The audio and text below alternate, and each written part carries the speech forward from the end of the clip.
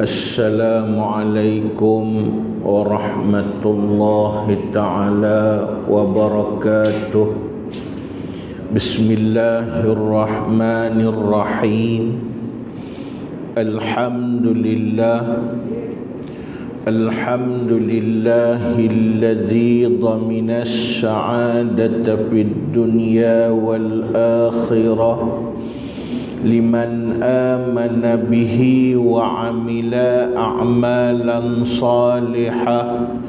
Ashhadu an la ilaha illallah wahdahu la syarika lah.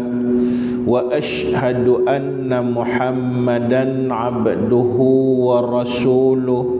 Sayyidul jinni wal bashar. رب اشرح لي صدري ويسر لي أمري واحلل عقدة من لساني يفقه قولي. اللهم أرنا الحق حقا وارزقنا اتباعه وأرنا الباطل باطلا وارزقنا اجتنابه.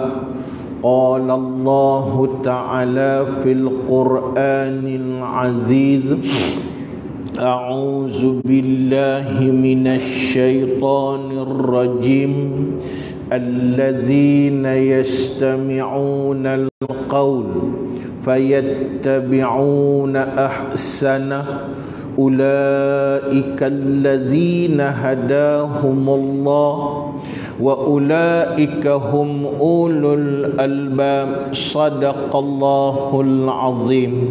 Muslimin muslimat rahimahullah.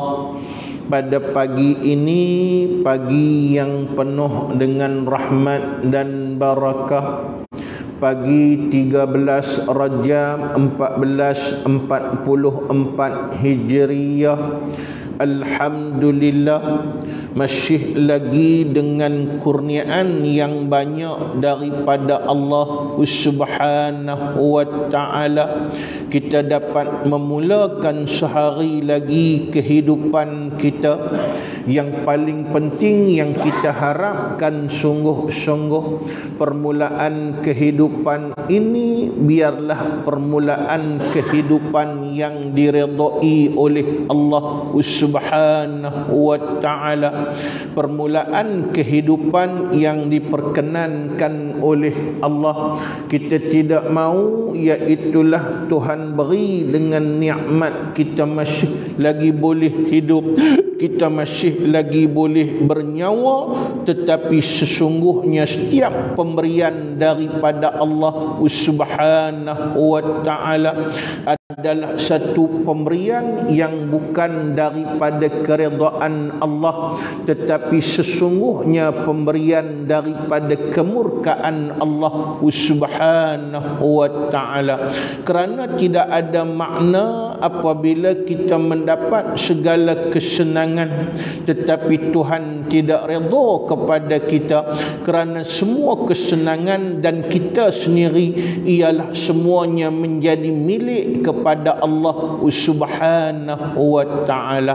Tapi alhamdulillah Tuhan beri kepada kita kehidupan. Sehari lagi dipanjangkan usia kita oleh Allah Subhanahu wa taala. Tuhan redha kepada kita. Apa tandanya Tuhan redha pada kita?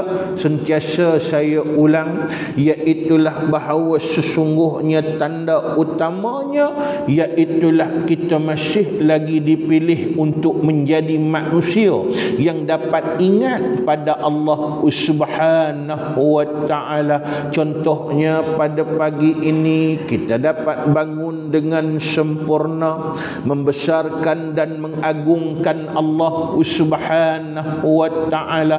Seperti yang saya ulang selalu kita menyahut seruan Allah Subhanahu wa taala iaitulah firman Allah yang berbunyi tatajafa junubuhum anil madaji' yad'una rabbahum khaufan wa tama'a. Antara sifat utama orang yang beriman mereka dengan mudahnya merenggangkan lambung-lambung mereka rusuk-rusuk mereka daripada tempat perbaringan mereka. Mereka bangun untuk bermunajat pada Allah Subhanahu wa taala. Dalam keadaan mereka sentiasa mendambakan rahmat dan keredaan Allah Subhanahu wa taala. Mereka mendambakan kasih kasih sayang Allah dan mereka juga gerun dan takut dengan azab dan siksaan daripada Allah Subhanahu wa taala. Sebentar tadi kita buktikan kita membesarkan Allah dengan sama-sama kita rakaat dan sujud. Kemudian kita duduk pula di dalam majlis yang penuh dengan keagungan iaitu majlis ilmu yang akan meninggikan kedudukan dan derajat kita pada Allah Subhanahu wa taala. Yang mana majlis ilmu ini ialah satu jalan utama untuk menjadikan kita dapat makrifah dengan sempurna pada Allah Subhanahu wa taala. Ha, sebab itulah disebut oleh seorang ulama yang bernama Ibn Ruslan Ad-Dimashqi di dalam dalam kitabnya yang bernama Matan Zubat. Iaitulah satu kitab yang agung yang mana kalau kita rujuk di dalam kalam yang ke-54 bait syair yang dia sebut di dalam kitabnya iaitulah dia sebut apa tuan-tuan muslimin muslimat rahimahullah. Beliau mengatakan apa nama wal ilmu asna syair khairil a'mali wa huwa dalilul khairi wal ifdali. Ha, itu antara kata-kata hebat dia tuan-tuan untuk kita ambil iktibar di atas muka bumi Allah subhanahu wa ta'ala iaitulah kata beliau wal ilmu dan orang yang menuntut ilmu dan orang yang sentiasa berusaha untuk menambah khazanah ilmu asna syairil a'mali perbuatan menuntut ilmu itu merupakan setinggi-tinggi derajat dan kedudukan lebih tinggi daripada semua amalan dan ibadat di atas muka bumi Allah Subhanahu wa taala. Ambillah ibadat apapun tuan-tuan. Ibadat menuntut ilmu duduk pada tangga yang pertama. Duduk pada ranking yang utama. Duduk pada hierarki yang paling tinggi. Ya pasal apa ha, mudah saja saya sebut selalu kepada tuan-tuan.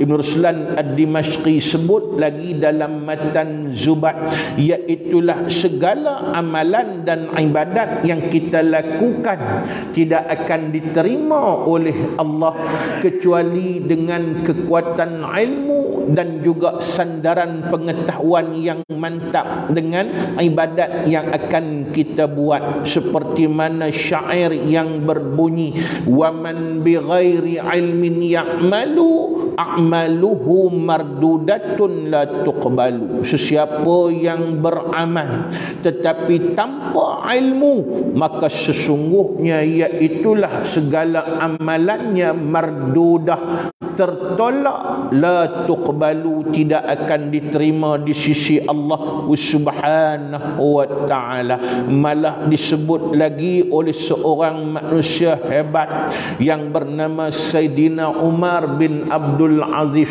Saya pernah tengok dalam satu tulisan beliau telah menyebut tentang kepentingan ilmu dan juga iaitulah pentingnya ilmu itu. Iaitulah untuk kita beramal dengan segala amalan di atas muka bumi.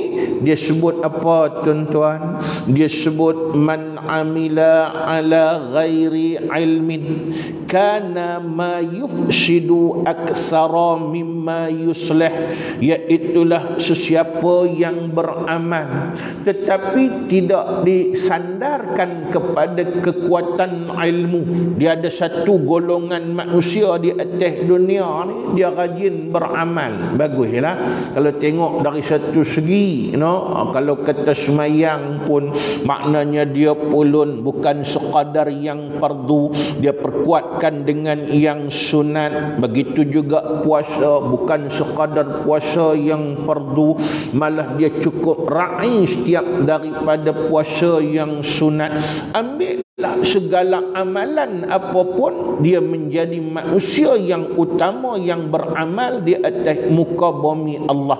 Tak cukup dengan tu dia akan bertanya lagi kalau-kalau ada lagi amalan-amalan yang hebat yang lain yang boleh menjadikan dia dekat dengan Allah Subhanahu wa taala. Ada golongan macam ni tuan-tuan. Nah kalau kita tengok daripada zaman dulu dia ada satu golongan golongan yang dinamakan abid iaitulah orang yang cukup teruja.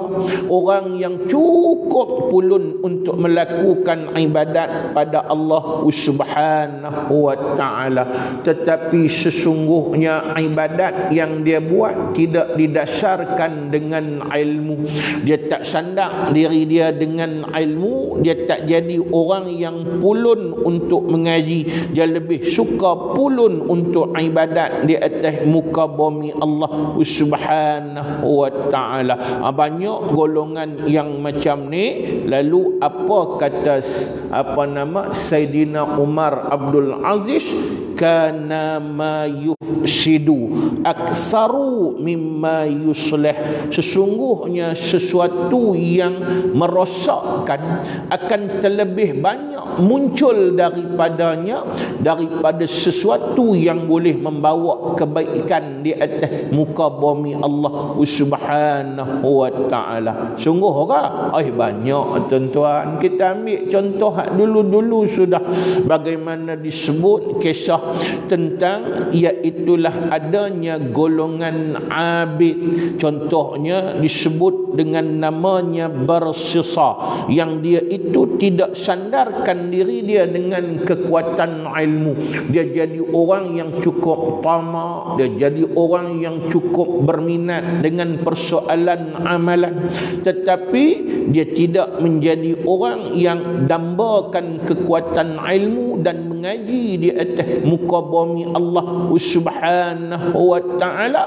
Tuan-tuan pun tahu cerita akhir kemuncaknya. Dia menjadi orang yang kufur. Mati dalam keadaan kufur pada Allah Subhanahu wa taala.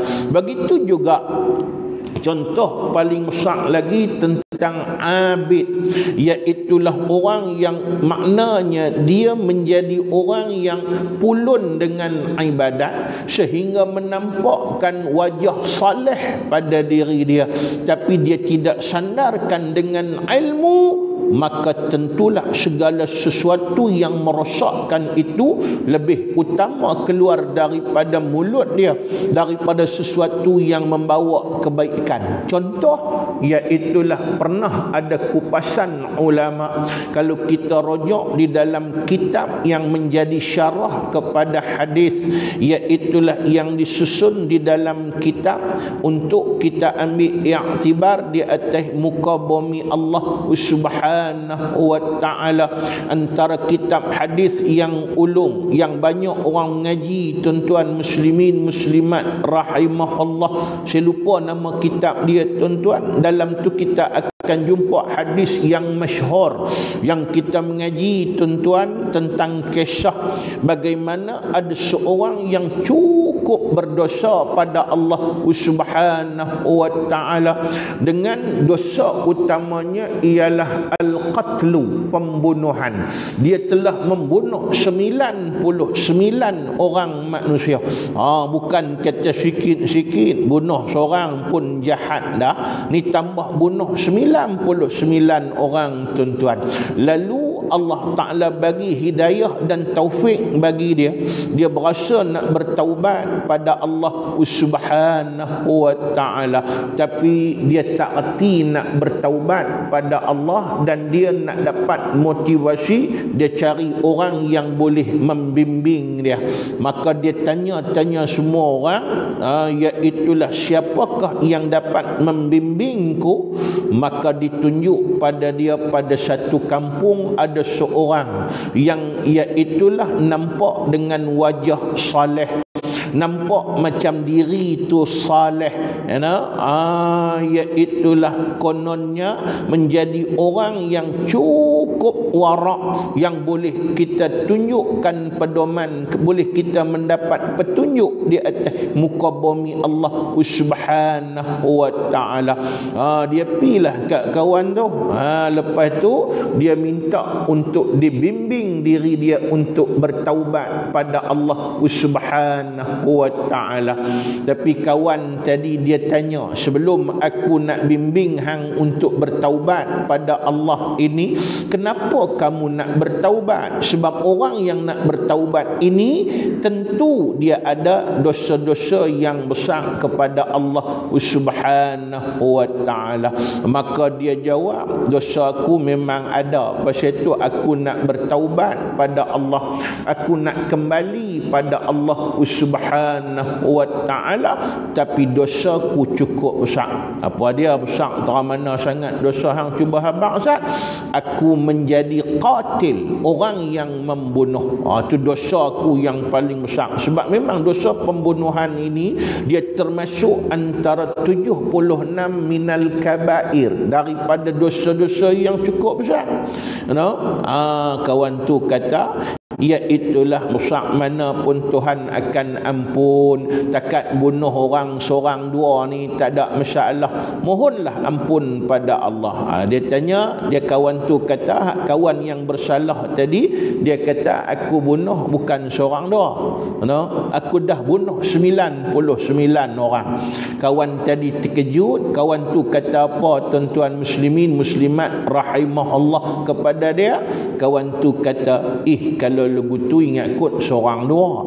Hang bunuh sampai 99 orang Allah Ta'ala takkan mengampunkan dosa kamu. Hang tu saduk pulun buat lagu manalah. Allah Ta'ala takkan ampun dosa hang sebab berat. Sungguh-sungguh ni sampai 99 orang. Pintu taubat dan rahmat Allah Ta'ala telah tutup bagi kamu. Oh dia pun mulanya okey lagi. Tapi bila dengar lengak lagu tu tuan-tuan muslim muslimin muslimat rahimahullah maka hak kawan tadi pun dia cantas kepala. Bagi cukup 100 tuan-tuan muslimin muslimat rahimahullah. Nah ha ni cerita yang boleh kita buka dalam kitab riyadus salihin. Ha, hadis dia panjang dalam tajuk taubat tuan-tuan muslimin muslimat rahimahullah Nah, tak apalah. Lepas tu bila bunuh 100 orang tu, dia pun maknanya kembali normal untuk dia berasa bersalah dan nak minta ampun pada Allah. Cari pula lagi seorang. No, ha, jumpa seorang tok guru ni soalan yang sama dan kemudian diberi cerita yang sama. Jawab guru ini pendek cerita iaitu apa nama tak kira hang buat salah banyak mana mana pun penuh langit dan bumi pun iaitulah inna rahmatallah wasi'ah sesungguhnya rahmat Allah itu cukup luas. Nah, apabila timbul hati kita untuk bertaubat keinginan untuk kembali pada Allah Tuhan akan terima. Tak kira hang lagu mana pun dan sebagainya. Ah dengar lagu tu lega hatinya. Tapi tok guru ni bagi panduan tuan. Cara nak taubat hang jangan balik ke tempat hang. Sebab apa? Tempat hang tu adalah satu unsur yang paling penting untuk mengekalkan kamu menjadi orang yang payah nak bertaubat dan kamu akan mengekalkan dosa pada Allah. Uh, sebab salah satu perkara yang paling penting yang banyak menjadikan kita gagal untuk bertaubat ialah environmental persekitaran tuan-tuan.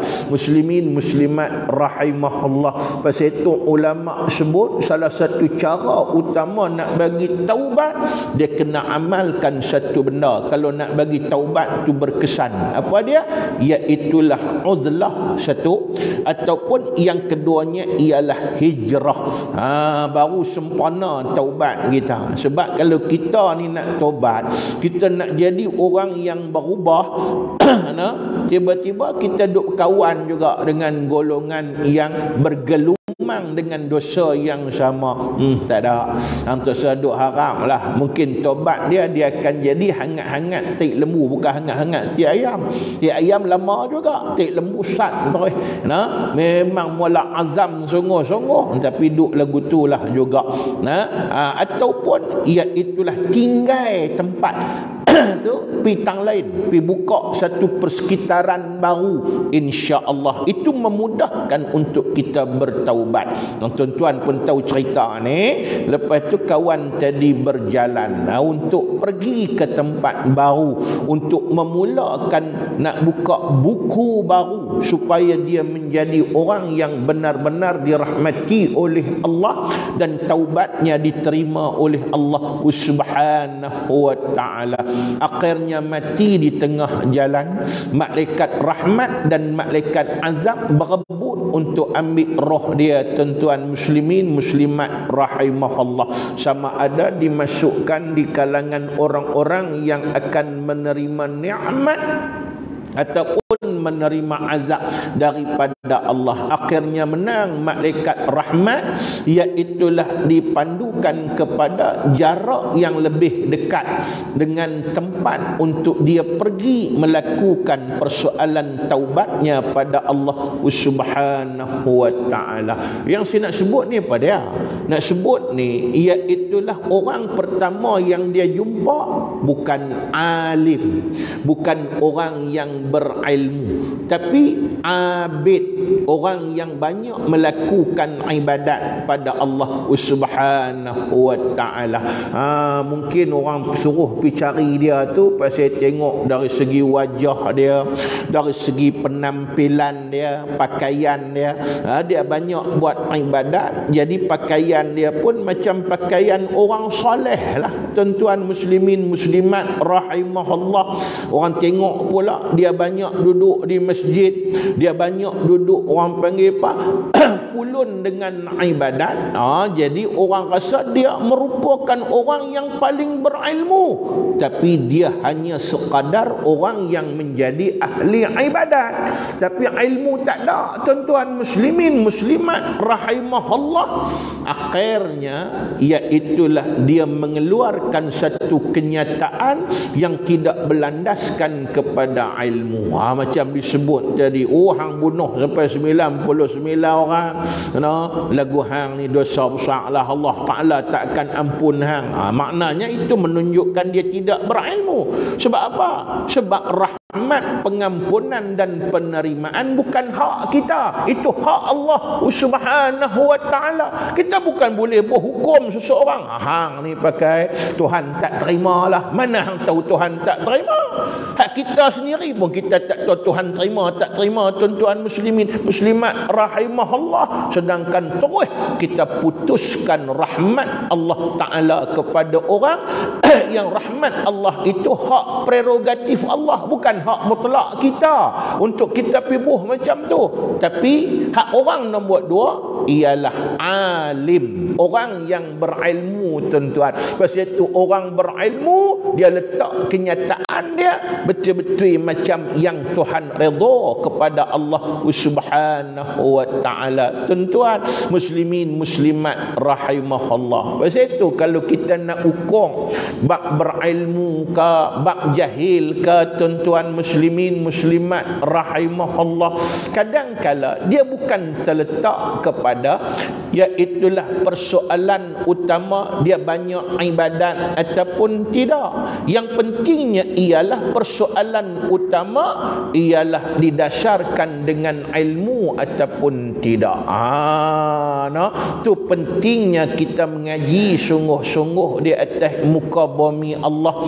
Terang mengaji pun kita masih banyak lagi sifat kejahilan pada kita tambah kalau sekiranya kita langsung iaitulah menolak usaha untuk kita mengaji di atas muka bumi Allah subhanahu wa ta'ala. Tambah-tambah kita menolak usaha untuk dibimbing dengan peringatan Allah peringatan Nabi ataupun tuk-tuk guru yang muktabar di atas muka bumi Allah subhanahu wa ta'ala. Ah, jawab dia kita akan bergelumang dengan kejahilan di atas muka bumi Allah. Nah ha, tapi tuan-tuan ada satu masalah lagi. Kadang-kala kita ni berasa macam kita okey dah. Berasa macam kita ni tak payah mengaji dah pun tak apa. Pasal apa? Sebab ilmu sudah mantap pada diri kita. Ingat tuan-tuan yang disebut oleh ulama siapa yang sedang diri dia sudah berilmu maka dia masih lagi tenggelam dalam kejahilan. Tapi kalau siapa yang berasa diri dia tu masih lemah masih kurang dia pulun untuk mengaji macam kita semua ni tuan-tuan maka dia sudah menjadi orang yang mendekati sifat alim ataupun orang yang mengetahui di atas muka bumi Allah Subhanahu wa taala. Apa itu siapa pun jangan duk berasa kata diri dia sudah sempurna dengan kekuatan ilmu di atas muka bumi Allah Subhanahu wa taala. Ha, jadi saya buka satu kitab tuan-tuan muslimin muslimat rahimahullah. Kitab ni namanya ialah Sya'bul Iman. Lepas tu dalam tu iaitulah maknanya terjumpa satu nasihat penting yang dibuat oleh ulama. Ah, apa dia? Ulama kata salah satunya iaitulah jangan jadikan diri kita sebagai manusia yang jahil dan jangan letak diri kita dengan akhlak orang-orang jahil ataupun perangai orang-orang jahil kerana orang-orang yang jahil ini dimusuhi oleh Allah Subhanahu wa taala. Ha, jadi mungkin ada orang tertanya-tanya nak kenal lagu mana kita ni berperangai dengan perangai orang jahil. No? Walaupun kadang kita mengaji ni Allah tak tahu nak habaq tuan-tuan. No? Kira hebat banyaknya iaitulah masa kita dihabis dalam menuntut ilmu tapi ulama tetap akhlak dan perangai kita masih lagi perangai orang jahil di atas muka bumi Allah Subhanahu wa taala. Ha, jadi kebetulan masa buka kitab ni dia sebut iaitulah min akhlaqil jahili salasah. Nah, sebahagian daripada perangai orang-orang jahil yang paling utama ada tiga tuan-tuan. Muslimin muslimat rahimahullah. Siapa yang ada tiga perangai ini dia termasuk dalam golongan juhala maknanya orang yang jahil tak kira ham ngaji banyak mana pun maknanya silap-silap hari bulan kejahilan akhlak yang kejahilan yang ada pada dia tadi akan merosakkan kehidupan dia di dunia dan juga akhirat Allah Subhanahu wa taala. Jadi kita nak tengok apa dia perangai orang jahil ataupun akhlak orang yang disebut dengan juhala di atas muka bumi Allah Subhanahu wa taala. Nah, yang pertama kata ulama yang muktabar akhlak utama orang-orang jahil ialah al-hukmu bima la ya'lamu. Ha, itu maksud yang pertama. Apa dia? Iaitulah mudah menghukumkan sesuatu yang dia tidak tahu. Ha, nah, bila dia boleh hukum satu-satu benda yang dia tak tahu maknanya apa dia? Jahil ha, tuan-tuan muslimin muslimat rahimahullah. Dan itu perangai orang jahil. Nah, kita bukan boleh hukum. Hak tak tahu abang tak tahu ha? jangan duk pandai-pandai hukum tuan-tuan. Ataupun bahasa lah dipanggil apa? Nah, hak ya tahu kita kata tahu. Hak tak tahu jangan buat pala tahu ha, macam orang lah duk sebut tuan-tuan muslimin muslimat rahimahullah. Satu. Yang keduanya jangan duk pandai-pandai hukum kalau kita tak tahu tuan-tuan muslimin muslimat rahimahullah. Malah disebut oleh Hasan Al-Basri akhlak utama orang alim iaitulah dia tidak malu untuk mengatakan aku tak tahu. Ah tu orang alim lah tuan-tuan muslimin muslimat rahimahullah. Yang kita tanya satu soalan dekat dia. Tanya-tanya soalan no lepas tu dia dengar dengar dengar. Dia kata la adri aku tak tahu. Ha no. Bila kata aku tak tahu itulah orang yang terbaik sebab dia amanah dengan ilmu. Dia akan habaq hak dia tahu. Hak tak tahu maka dia akan kata tak tahulah tuan-tuan. Nah kita patut menerima dengan hati terbuka. Itu orang yang hebat. Tapi masalah kita pun masalah juga. Nah tapi tanya-tanya tak tahu no? lepas tu balik sekali lagi kita akan sebut hmm, ustaz apa yang tu pun tak tahu ha, habis cerita no? ha, dia pergi buh lagu tu jadi bila buh lagu tu banyak kita ni kadang bila sebut bila tak tahu dia malu nak abang kata dia tak tahu dia hantam juga ha, itu yang kata buat bala tahu tu tuan-tuan muslimin muslimat rahimahullah maka iaitulah bila seseorang bercakap dengan sesuatu yang dia tidak tahu artinya dia khianat khianat dengan Allah dia khianat dengan Rasul tuan-tuan. Muslimin muslimat rahimahullah. No? itu ha, yang cukup masalah yang saya pernah cerita kat tuan-tuan dulu. No? pernah berlaku. Ha, kadang kita macam itulah duk ngajak ngajak ngajak. Lepas habis kita pun sebut. Lepas habis kuliah sebutlah. No? siapa nak tanya apa tanya Ha? ha lepas tu ada orang mengkit tanya tak apalah dia tanya tanya tanya yang syoknya tuan-tuan dia tanya tu tanya jenis orang yang memang bukan jenis nak tanya nak ambil tahu dia lebih tanya nak sudi. Ha, nak tengok hang terang mana sangat ni bahasa lama kita lah. No? jenis nak sudi. Ha, nak, nak, apa maksud kata perkataan lah? Jenis nak orang panggil apa? Nak tengok. Orang oh, duk mengajak no? nak tengok takat mana hang tahu. Ha, tak apalah. Memang kita lagu mana pun banyak walaupun ada dua tiga benda kita tahu banyak lagi hak tak tahu. Kira lagu tu lah untuk kita ambil yang tiba. No? bila dah tanya tu contoh soalan jenis macam ni dia akan tanya macam tanya ustaz nyatakan satu persatu satu persatu dan sebagainya. Macam tanya dalam buku. Ha tu dia tuan-tuan. Nah tu kira tahu sangatlah tak apalah.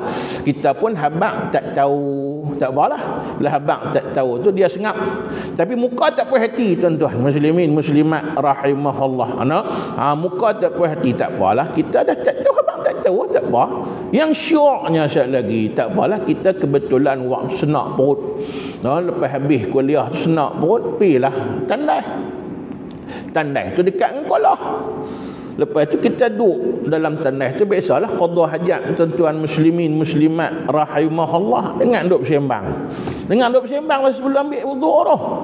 Doa dengan doa duduk ambil wuduk duduk sembang. Macam-macam lah. No, ustaz apa yang main mengajak kita malam ni. Yang tu pun dia tak tahu. Tak apa lagi. Boleh lagi kita dalam tu tak apa lagi. Lepas tu buh pula. Pakai serban saja. Yang tu pun tak tahu. Ah, buh serban pula tuan-tuan. Muslimin, muslimat, rahimahullah. No? Ah, kita, saya mujur duduk dalam tandas waktu tu takkan nak keluar lagu tu. No, mujur duduk dalam tanah ke tu. Maksudnya, ada orang tanya saya bila saya cerita tu dia kata, "Wak ustaz nak buat apa? Takkan nak pergi penampak kok, bukan nak pergi penampak. Kalau boleh keluar waktu tu, no, lepas tu nak pergi ambil sorban kita, nak buah atas kepala dia. Ha, jawab lah pula.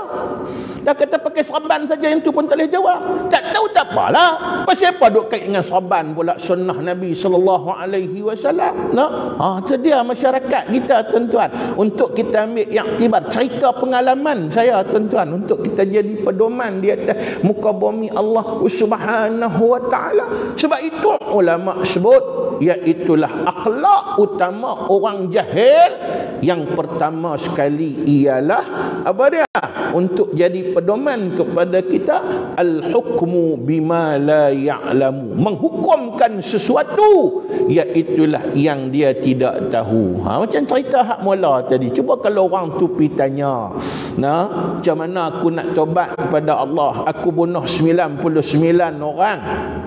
Nah Tuhan terima ke nah ya itulah pengampunanku. Dia tak tahu dia abid dia bukan alim. Jawab senang. Jawab mudah ya. Senang ya. Aku tak tahulah yang tu. Hang pi cari orang lain lah. Aku tak tahu nak jawab yang tu. Sebab hak aku mengaji takat mana ilmu yang ada padaku takat tu saja aku tak boleh nak hukum lebih-lebih dan sebagainya. Kawan tu pun mungkin tak cantai kepala dia tuan-tuan. Muslimin muslimat rahimah. Sebab dia mengaku.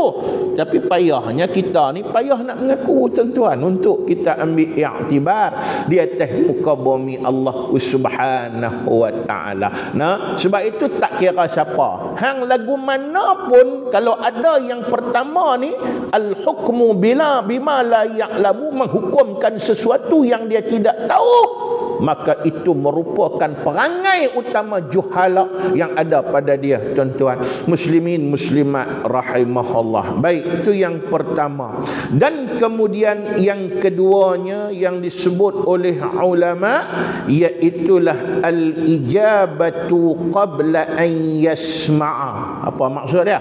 Iaitulah menjawab sesuatu sebelum didengar habis Ha, no? kita kadang bersembang, bersembang, bersembang apa?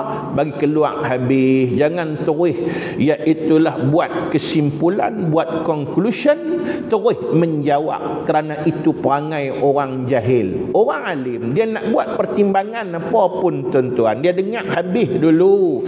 No? Bagi cerita dia utama dulu. Macam orang tanya soalan kat kita lah kadang bukan takat soalan orang alim ke orang jahil contoh macam soalan kuis nah dia nak tanya soalan kat kita soalan tu tak habis lagi dia terus jawab Ah, no? jawab dia tak betul eh?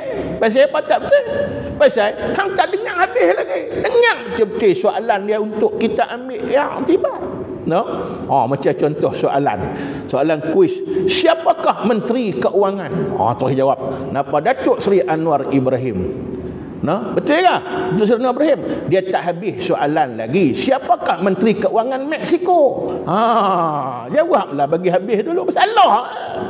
Tapi tak habis lagi soalan tu. Terus nak jawab mudah-mudah terus lagu tu. Ha, tak boleh. Ha? Itu akhlak orang jahil. Akhlak orang yang beriman. Akhlak orang yang berilmu. Ha, dengar bagi habis. Selesai. Ha? No? Kita pasal kadang kalau masyarakat kita terus buat conclusion. Dengar-dengar terus nak marah. Dengarlah bagi habis. Hello, kawan tu nak cerita apa? No? Baru betul, baru dia jadi dengan keadaan yang sempurna. Mengikut adab yang utama. Sebab itu, dalam kaedah agama pun, dia ada satu perkara yang penting, yang psikologi pun, dia ada satu perkara yang penting yang disebut. Satu benda yang jarang ada pada orang Melayu kita. Bukan dekat Melayu lah, masyarakat seluruh dunia ni. Iaitulah the art of listening. Apa maksud di art of listening? Seni untuk mendengar. Dia akan jadi harmoni dan elok. Tak kira lah mana pun hang mesyuarat ke hang sembang ke apa pun. No? Seorang bercakap, hak lain dengar. No? Seorang bercakap, hak lain dengar. Lepas tu bila dia habis bercakap lagi, kawan ni pula bercakap, hak lain pula semua pekat dengar.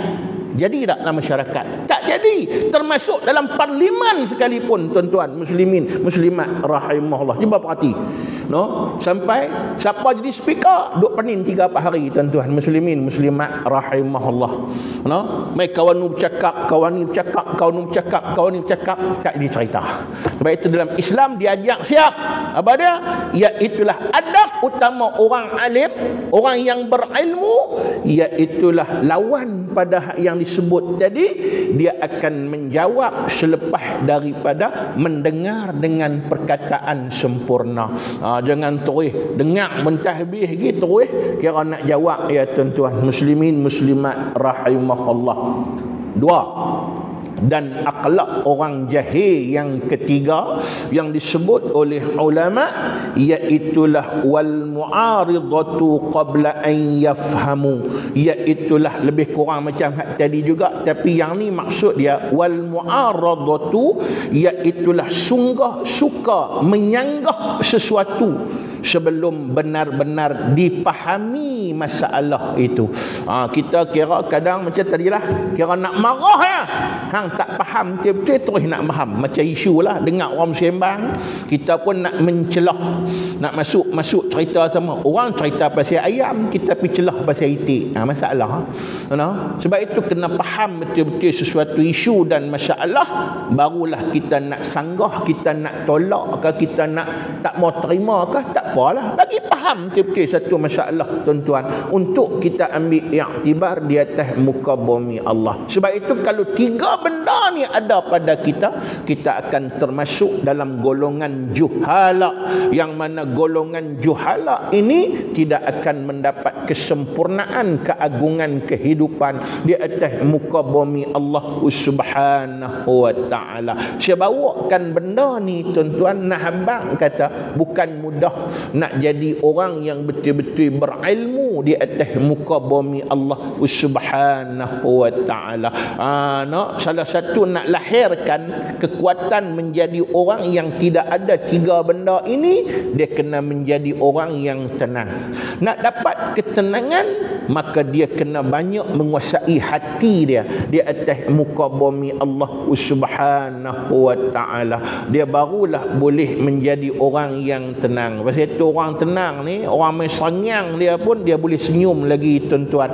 Muslimin muslimat rahimahullah. Ana ha, bukan mudah nak dapat lagu tu lah. Pasal kadang-kala kita akan mudah dikuasai oleh emosi dan sebagainya atas muka bumi Allah subhanahu wa ta'ala. Nah itulah dia sedikit tazkirah saya pada pagi ini. Mudah-mudahan akhlak orang jahil itu tidak ada kepada kita. Kita akan mampu bimbing diri kita untuk mendapat keredaan dan juga rahmat Allah Subhanahu wa taala. Kita akan disayangi dan dikasihi oleh Allah. Untuk itu mohon ampun dan maaf. Kalau ada silap dan salah yang baik daripada Allah yang lemahnya saya. Walaupun hakikat utama tetap daripada Allah Subhanahu wa taala marilah sama-sama kita tunda perjumpaan kita ini pada waktu yang lain dengan kita hadiahkan Fatihah pada Nabi sallallahu alaihi wasallam sahabat ijma' ulama dan mereka yang telah mendahului kita al-Fatihah a'udzu billahi minasyaitonir rajim bismillahirrahmanirrahim الحمد لله رب العالمين. الرحمن الرحيم. مالك يوم الدين. إياك نعبد وإياك نستعين. اهدنا الصراط المستقيم. صراط الذين أنعمت عليهم غير المغضوب عليهم ولا الضالين.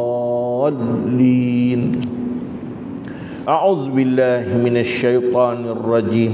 بسم الله الرحمن الرحيم. الحمد لله رب العالمين. حمدا يوافي نعامه ويكافئ مزيده.